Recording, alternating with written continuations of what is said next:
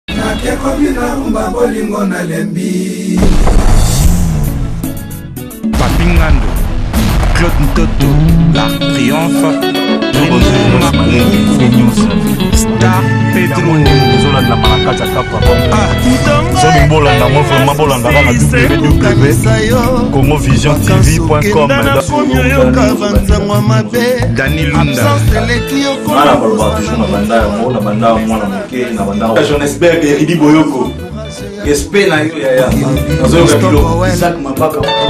ouais bonjour bonjour bonjour jeres malele free news balobi yango nde moto ezolandama na kati ya kapa bonk soki olingi bolanda yango vraiment bolandaka na www congovisiontv.com donc émission free news jires malele tobosani mpe te na junior lukumwena ka nde babengaka yesu bilili nde mo jires abengaka donc toza todi na biso émission bon tala kaka donc rien à faire na minute oyo mais toyedi émission mpo makambo ezalaka ebele na mboka oyo banini donc bosantika émission ndenge elekana avec jrs malele mais tobosani te toujours toyaka toujours na kati ya motalaka kaka nde toyebisaki bino kua donc makambo ezobaluka tolekaleka donc tokende kaka donc avec jrs malele donc ye moko aza wana malgré malgré ba, ba, ba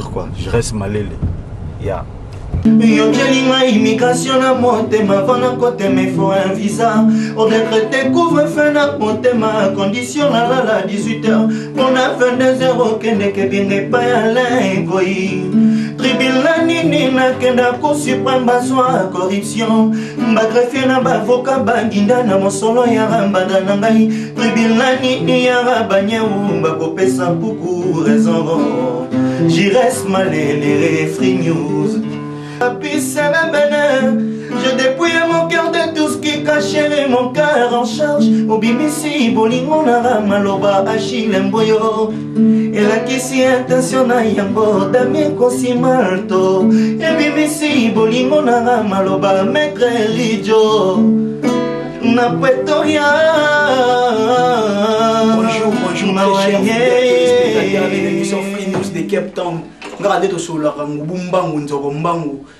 mais voici encore devant vos postes de télévision ngai naobenga yango retour sur scène après deux mois d'absence ndenge ezalaka kaka jires malele azalaki te na bino mpo nzoto ebanda opermettre lisusu te tozala na bino mais sikoyo grâce ya nzambe toza na bino elongo nde kaka nayesai bino attaque sans recul oza attaque sans recul ka nde naobenga retour sur scène lelo mpo na bandeko nyonso balandaka biso sur 3 w congo vision tv com tomonaka bongo Bernie Menga Alain Pombo na JC Pombo Andre Kaba State bato balandaka biso na internet bato balandaka biso na ba YouTube partout nous voici de retour lelo na recevoir mpona bino artiste musicien ya mboka oyo oyo tozali Silva Kitenge omimi nga amekaka nga abengaka mingi mingi artiste de charme lelo tokobeta masolo na ye eza première fois te toyambela émission na biso ya free news aleka déjà na émission ya free news bao batalaka volume 10 na biso ya free news bamonaka ye lelo si toye koretrouve ye na kati ya studio ckb place kaka toretrouvaka ye aza bongo na préparation ya diske na ye na ye tokoluka tobeta masolo toyeba ndenge nini ekoleka bonjour Ah, bonjour, je reste malele. Vraiment, en tout cas, nous remercions toujours Kolo pour sa moto yoka qui vraiment ça l'a mis au passé. etake mopanzi sango ya solo na kati ya kapa oyo oyebana partout ekomi donc eza ti na internet oza kutu ya kapa kutu te ekomi mama international donc ndenge eza wana nasepeli su fort nde namoni yo lisusu ozongi en tout cas nzambe vraiment azwa lokumu donc il faut conseil su na kopesa yo giresse donc il faut prière pa ebele toujours po nzambe sans nzambe donc ma plein en tout cas talaka ndenge ozali lelo donc oza toujours na biso donc misusu kutu mpe bakendaki mais nzambe aboyaki kotika yo po ayebi koza mwana na ye osala oyebi ke ndenge eza wana wana mokumba ebele fosala mambo ebele fosala donc en tout cas je vous remercie beaucoup donc na yo ouais boyoki kaka merci mpo na conseil mpo toyebi keno nzela ya nkolo nde yango eza lobiko na biso bato oyo toza na mokili ya nzambe oya nde kaka tosolola sur www.congovisiontv.com bandeko nyonso balandaka biso kuna bokoyoka lelo ndenge nini masolo tokobeta na silva kitenge artiste de charme alors silva kitenge na bandeko nyonso balandaka biso te na bavolime oyo eleki soki okoki korapele biso mwa parcours na oyo osala biso su bien ouais toujours parcours nde esalaka kaka likambo ya parcours oyo tolobela toujours so na cape town awa bamosusu baza yango sans parcours biso toza biso na parcours toboyi no parcours mais tozala so babi to baoyo parcours bazo ba elobi kaka ke non il faut lakisa place oyo outa place oyo outa na ndenge ozobandela vie ndenge ozokendelela mama sûrement musical ngai na balobaka toujours na banda yango na banda mwana moke na banda obina trop grand danser naliaka bambongo grand na ngai ogigi tenge place aolanda ngai na kongo wana ayebi amema nga na nsima mokongo amemi nga na mokongo banini mpa azokende na ngai tokesa baconcours de danse na baquartier nazolia bango balar banini banini malemi malemi kokola cikicikiciki ale tokoti makambo yango ya miziki tobandi kobeta na bandi na jugement de jeune na bamasalanga mobo charlie na mosika mpe azali leader Tant que l'homme wana toyokuta na Tade de Montikil place aza na Donc orchestre wana jugement de jeunes soko oyebisa bato balolanda biso mo éclaircissement mais orchestre ya commune nini to ya quartier nini ya bana mbinza mbinza ozone ezali jugement de jeunes place na tobanda mpe na mama évolution wana biso tour donc eza ya bana ngalema bana ngalema nyonso bazolanda neti kaka bamontikile nyonso nabengaka bamontikile bazolanda bazoyoka hmm, tous les montikile bazoyeba masolo yango ndenge ezali ebanda wana ale te okuta nga masala ngai tadi eh, de montikil tadi de montikil ayebisa ngai yayo moi ndenge eza boye yo mpena ndenge eza boye fo mpena okota su mama mpo sikoyo place tozalaki wana bando olinga te ke non mamba oyemba balingi balekaki te manga aleki danger na mama danse bayemba kotisa kaka ke non nabina kaka to eh, mwana sango bakore banini mena batali boye abiti masala nga tozalaki naye nani tade alesima te ya ifo yembaka fo yembaka banini apartir wana mba moko nzwa onde bilo yango mpe ezalaki nango na nzoto nayebaki nanga mpe te banini donc après à partir wana tobandi mpe koyemba ti toyemba après wana après jugement de jeune naye obeta na eh, staff london ya président eyong mpasi alanda ngai kumu eyong pierre wana mpe kaka orchestre ya bana mbinza toujours kaka bana mbinza toujours kaka bana mbinza après wana ngai kuna sikoyo batyaki ngai sikoyo chef du gouvernement mpo na ndolanda toujours ndema na ndolanda toujours vie na ngai idéologie twakulenda eh, chef du gouvernement ndenge amukula ndoko obenga ye nga mpe bayotyanga kote kuna chef du gouvernement silva kitenge ah, mampapa toyobebanaka nde ezalaka makambo yango nde ezalaka kaka toyobebana président yank toyaka makambo mwa mike kaka makambo ya bralima kaka makambo ya bralima oyo oyo ebandi lelo te ebandaka makambo ya sponsoring sponsoring oyo toyobebana ti nabeli ndenge nanga mopanzi nanga navai nanga mpe na pale bamasa mpe baye toyei na bango totangani tobetaka masolo ah boule na bite yaya ifo tobeta bord tokotika tokose laisser faire te ifo tobeta bord navandi na boye deux jours inspiration deux jours troisième jour bupa mama olala mosa orchestre étoile filante donc wana orchestre na yo moko étoile filante kaka na kati ya bana mbinza masolo tozobeta bana mbinza bayebi loka mpe nanga dide ndeleka mwana mbinza solo ayebi masolo mpe nanga dide ndeleka kuna mosika nazo mpe suba mbote silva yeyo donc masolo ebandi wana geras malele étoile filante ebebi mabe zwa sikoyo bana tu bamusicien na ye tu baye siko na mouvement na ngai parceke kuna sikoyo ye style na ndo obeta ezalaki style ya, ya clavier hmm. ando obeta mie mini clavier banini mais sikoyo topona tobima totia eloko moko neti wenge mpo biso toya bana biso wenge tolamusa tocree basoliste tocree makambo ebele ale tochange rythme ale maman masolo wo cle chipoi nano depuis esalema te na misin to mbinza nga nde bamemanga na chipoi nani l'artiste nani l'artiste oyo azalaki bien confirme oyo azalaki bien encadre oyo ayebanaki makasi mpenza na kati ya mbinza na c'était moi silva tipoi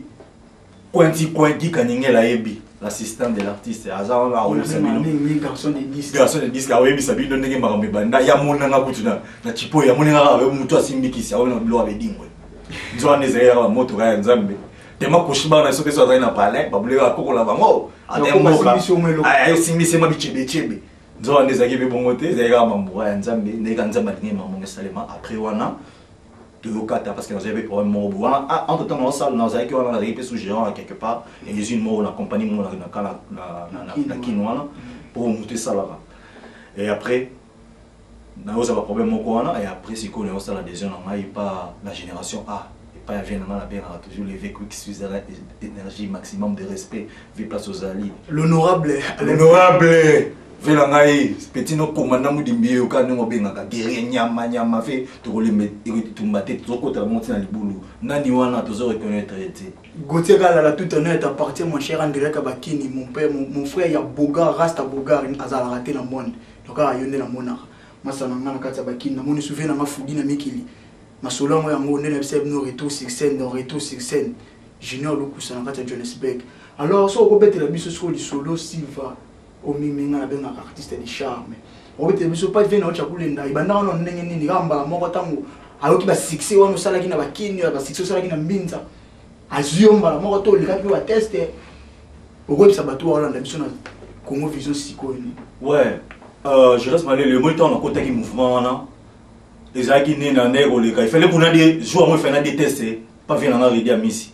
vie na ngai Willy Bomolo moto asalela ngai abeta ngai abetela ngai masolo abina petit na ngai da na betela masolo pa Rudy Amisi kende sala test côté wana ma auto ezala normal na préparer pe da ba chaya te okuta na okende sport azo 30 car na kutena na général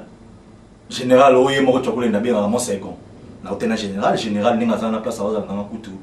bambota tro vela nga wili bomolo place ozali bambota tro banini euh, nakeyi mpe ezali nakuti bango na rep wana nanu prese azali nanu na aye na mikili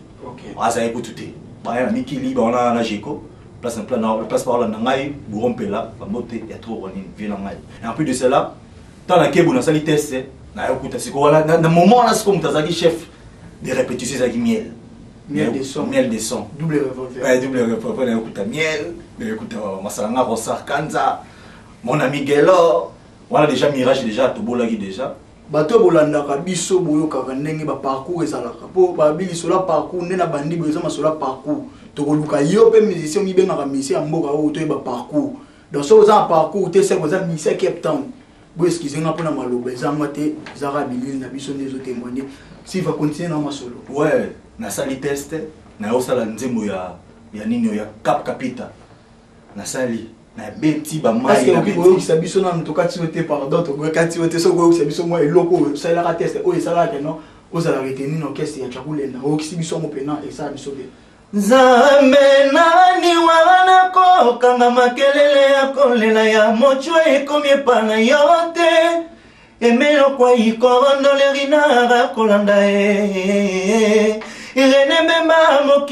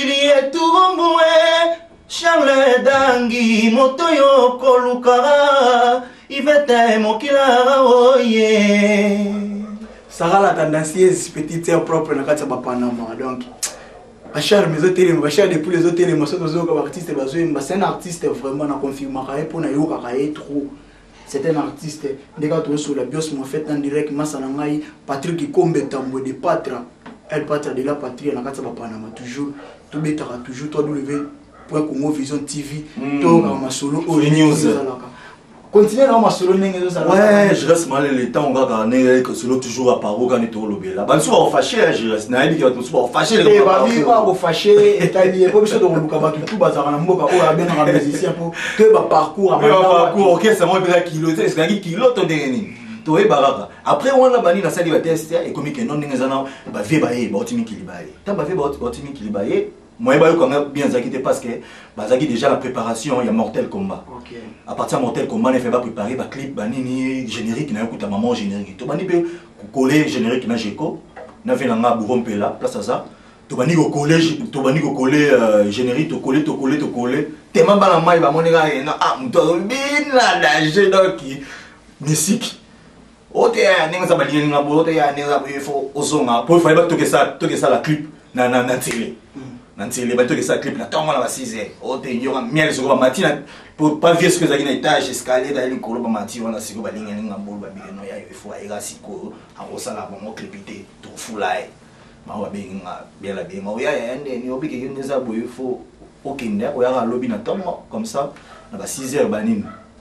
oya ah nga pe tellement nazali na posa ya mouvement na ndai kolela vie nanga toujours oke kaka oye nakei nake palais nake pe palais seke ya kutu na lamuka nafongola porte kaka kaka na ah telefone na di clip eh yaya kasi nakoma pe ntango nakoma bamoni nga boye bamona ngo babaye babaye monde jour ah, ciao bende na ye lisusu biso blode akei bali na ye mpe banini a ah, na ntongo namoi mpe vie na nga bimi muchwa topesani topesi topesi ba mbote kanda ezalaka ba one ya neni ba nini bon tokende ti basi ezalaki siko libanda bise eh? basi ezalaki libanda basi ezalaki libanda mama jiko asi mama ayebisingaki mama omieli mama o na mata na na mata na bisi eh mieli mpe nakale ngai oteya ah yo neni yo yeka yo omata bisi ta yo fo kita ti eh wasiko na comprendre ke na ye mamoka ya esprit ape natali kaka bongo ah, bawela bawelaka mpe makambo bango te parce qu'on sait jamais lobi ndenge ezala naye mpe na explike jeko na explike jeko jeko abi te te problème eza te tosala clip moko boye clip moko basalaki ifai tosala yango boye mais tosala ye mpe te après bavie bayokokende lisusu ntango bakei so mikili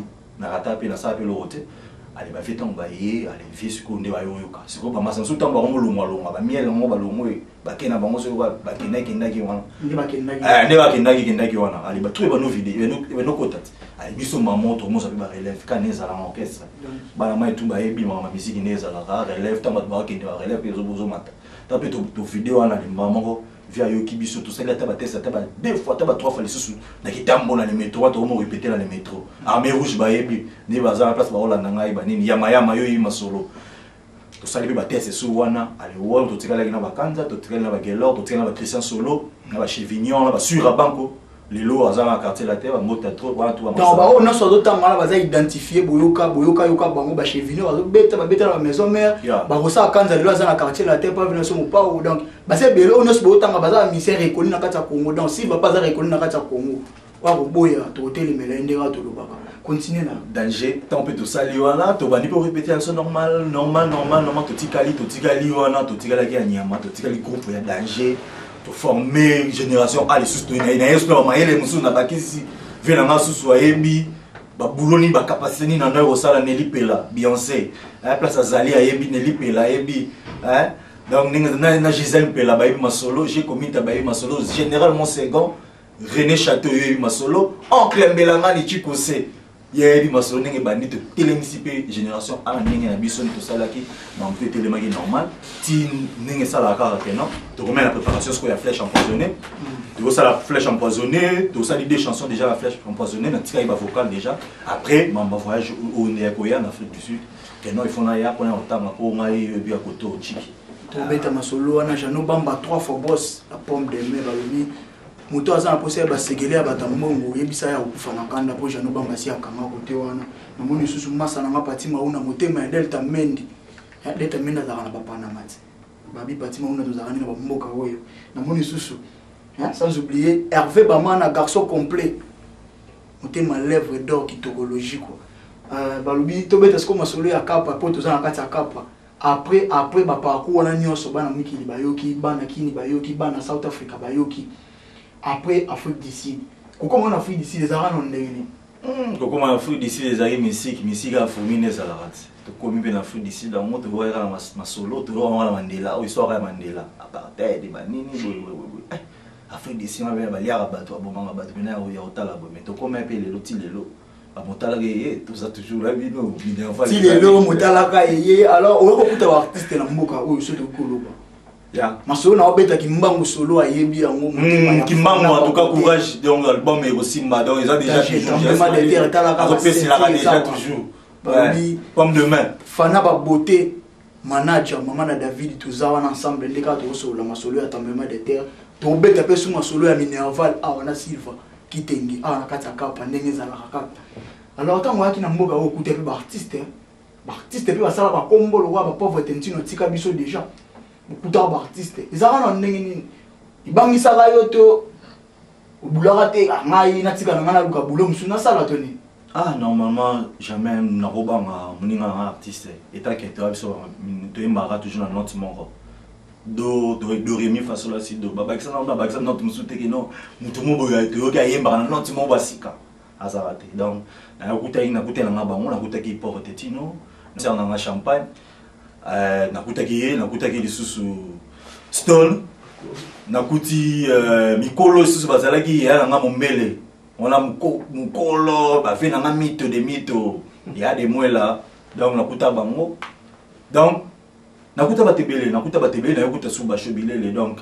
toza toujours together mais babangisi yo te kende otika mpena ndula oluka makambo mosusu mpo bakangi kangi na ndenge na bango mpe we te bon we eza oni eza likambo eza likambo lokola eza lokola damas te omoni damas damas eza okolia na yo ovide mosusu mpe batikaka batikini mpe damas abwaki mais damas ntango eza damas moto to azwaka part na ye na nzungu ozozwa part na yo ozozwa part na yo ozozwa part na yo donc moto abangisaki nga azalaki na ye te mpo mpo evane ntango Première sortie na nga na Mama Ndule na, na, na Cape Town ezalaki na Ndule na concert ya Celeo. Celeo Scranton ayaki awa. Première sortie na nga na pona apparaître sikoyo na Mama Musique mpo na na mnia mpe kotalela kaka na kotalela ba image ezali bamona démonstration démonstration ya pamba na betaka boye Loulou le Burundais. Kaskil nga bien ke Kaskil. nazala temoin akabasa kasamoto na sala sort live awa na cape town donc bibi lambala oyo alataki atikali na coupe alakisi bato keza ke na epate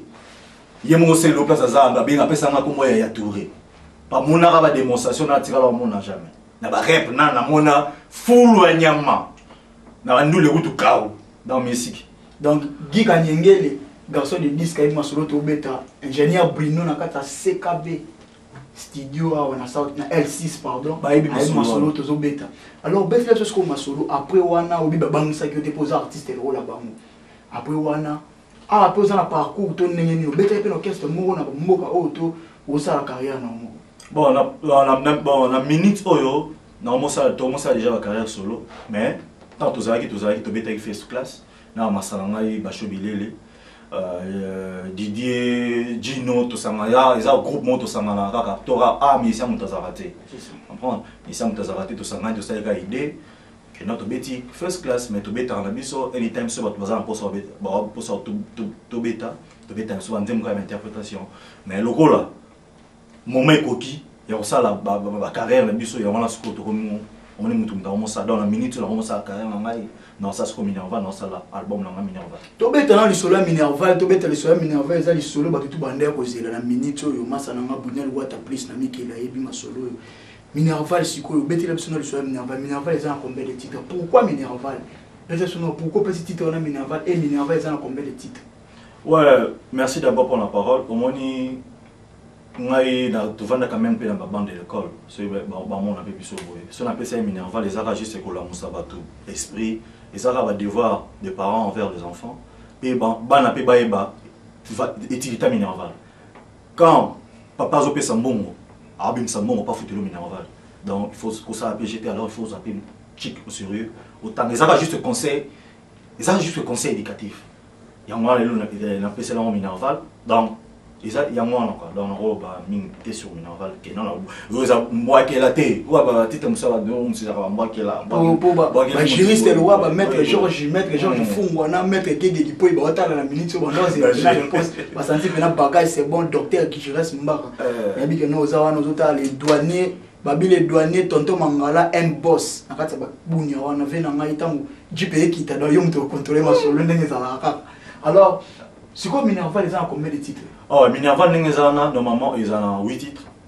eza na 8 titres avec deux génériques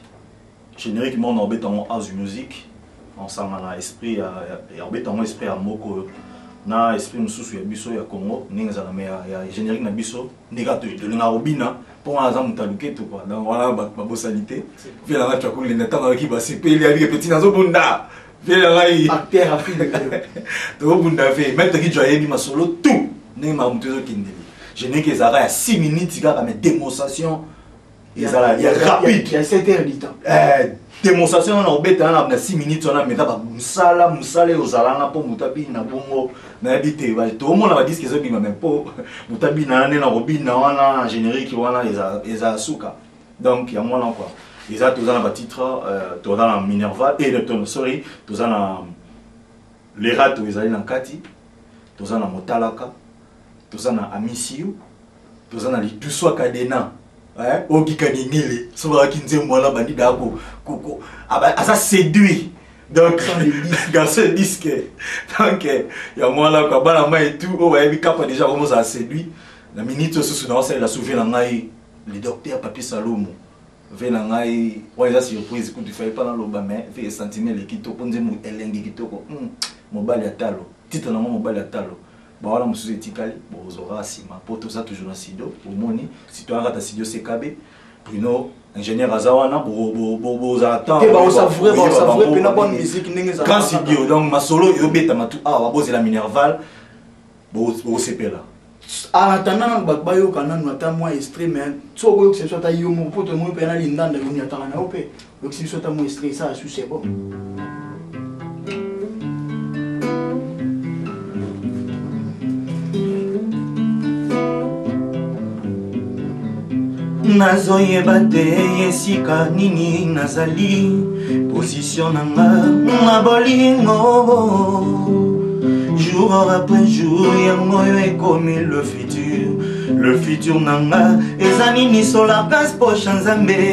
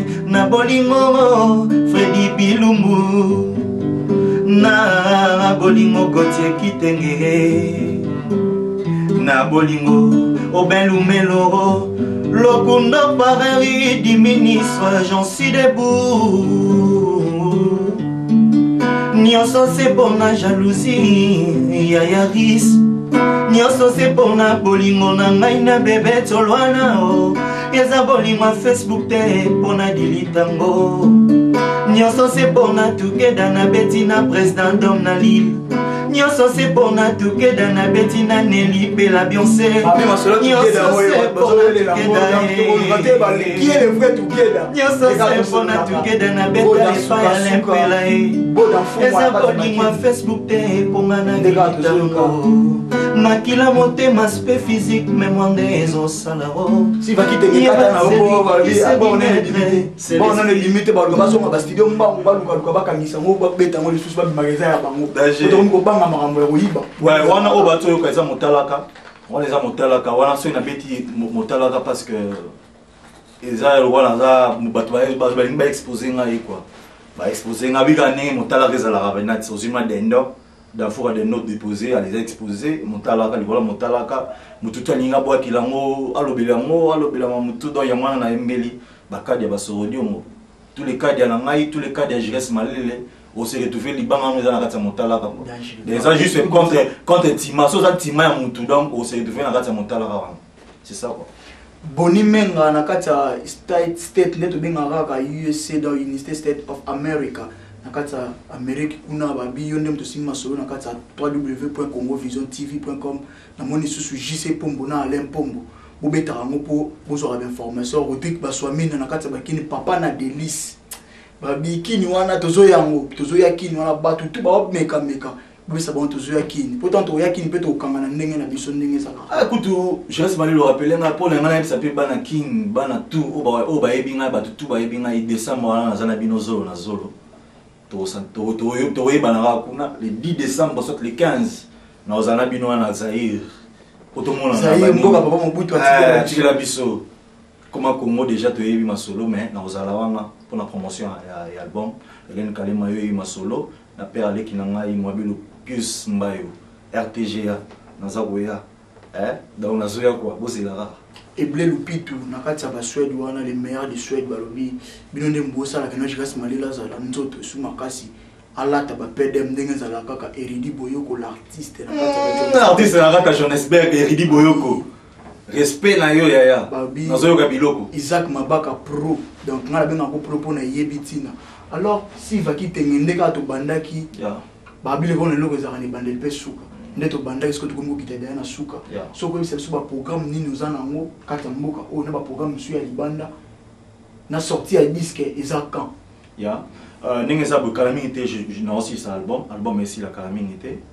euh, kala mingi te esusu naobanda ka toujours na kati ya studio kaka moko sekabe mm. oyo naopesa présence calbert kalalise donc euh, kaka na kati ya studio oyo basalaka pe ba clip tobetaka ngo ba clip clip nyonso te ezosalema awa kala mingi te je crois avant décembre nalobaka déjà novembre déjà plan déjà eza na marché mais baconcert nde otuki mpona baconcert concert na ala concert mona obeta avant na kitakin na décembre eza na kati ya pérou bozwaka bainformation kala mingi te kaka na free news bozwaka bainformation surtout kala mingi te je crois sur le 25 tobeta awa na pafos wana tobeta eza mafos classe wana tobeta na bango donc programme na ngambo na oyo nga nakopesa yango wana mais mingi mingi toana na studio mpo tosisa na naposa rapide e, biloko etu esila rapide parce que eumeli mpe masala ngai yaniki ngoma alobaki trop chris wadol na kati ya otawa masta ya renos lagefil mikoko ngai nakobenga bango le deflic dotawa eh, masala ngai yo oyebi masolo ya kati nabosani te lisusu natalia kanungo yo oyebi star kala mingi te boleli leli biloko efe bima enji black ya konzabi eh? na kati ya, ya kino wana nazoya kwa donc bamasa ba baza ebele baza ebele baza ebele eva evi rosei balobi na kati ya ottawa wana nazoya na kati ya canada nazoya goti kitenge naosalela bino mosala rapide rapide mpo evide mpo eumeli ya trop staff na ngai mobimba mpe napesi bino mbote nazoprofite